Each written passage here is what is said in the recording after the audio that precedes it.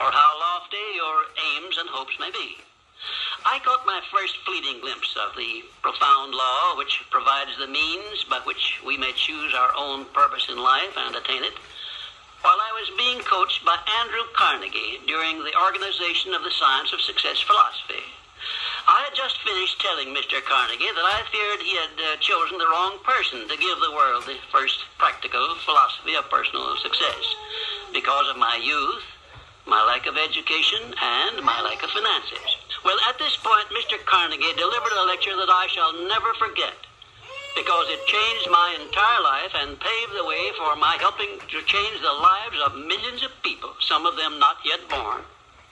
Let me call your attention to a great power which is under your control, said Mr. Carnegie. A power which is greater than poverty, greater than the lack of education, greater than all of your fears and superstitions combined.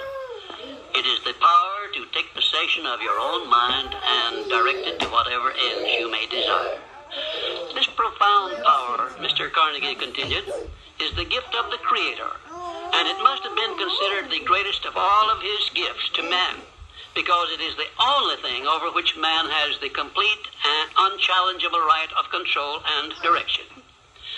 When you speak of your poverty and lack of education, Mr. Carnegie explained, you are simply directing your mind power to attract these undesirable circumstances.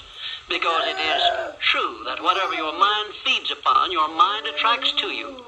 Now you see why it is important that you recognize that all success begins with definiteness of purpose, with a clear picture in your mind of precisely what you want from life.